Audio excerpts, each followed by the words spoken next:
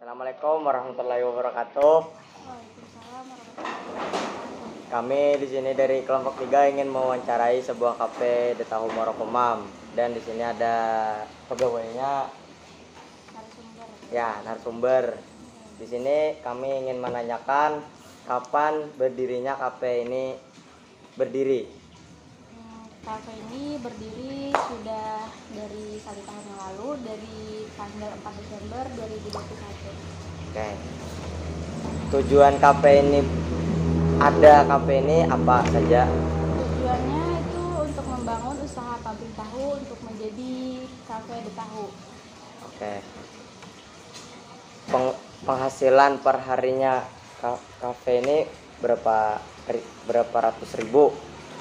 Kadang nggak nentu sih, kadang-kadang 300 sampai 500 per hari.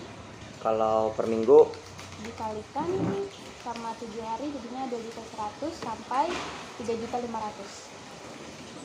peng- penghasilan per bulannya 9 juta sampai 15 juta. Assalamualaikum warahmatullahi wabarakatuh. Saya dari kelompok tiga ingin mewawancarai Pak saya Bapak Kadir. Kapan usaha ini dibangun? Ini dibangun tanggal 13 bulan 8 tahun 2021. Tujuan ini dibangun tujuannya untuk memenuhi kebutuhan masyarakat Muarakomam eh, untuk mencari penghasilan penghasilan per hari. Penghasilan per hari kurang lebihnya 2 juta. Per minggu kalau per minggu 14 juta. Per bulan kurang lebih 60 juta terima kasih atas waktu yang diberikan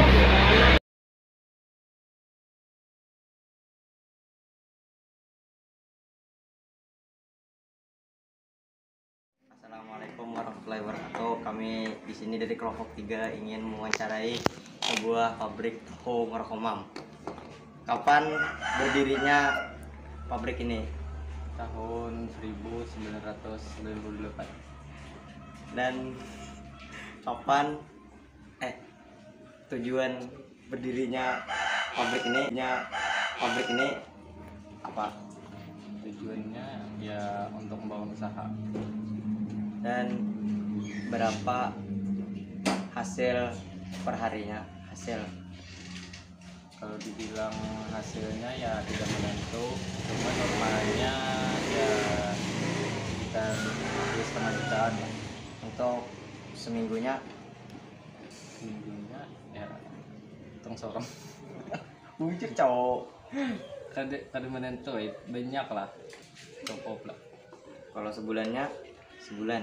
Per bulan sebulan ya sekitar 60-an lah 60 juta. Oke sekian. Itu saja da- dari kami. Mohon maaf. Assalamualaikum warahmatullahi wabarakatuh. Sekian. Itu saja yang pertanyaan dari kelompok 3 terdiri kami berempat. Sekian. Terima kasih. Assalamualaikum warahmatullahi wabarakatuh